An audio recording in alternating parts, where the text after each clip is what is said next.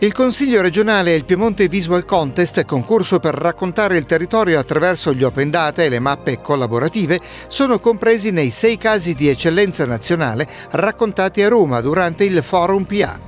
Le esperienze dell'uso sociale delle mappe e della valorizzazione dei dati aperti sono state al centro della sessione su Open Data e trasparenza. Allora, le regioni rappresentano uno snodo fondamentale in quella che sarà l'attività di Agile, non solo perché hanno delle competenze, ovviamente tipo quelle della sanità, che non possono che essere fondamentali ed orchestrate, ma perché poi hanno un presidio del territorio. Allora, il tema su cui noi possiamo fare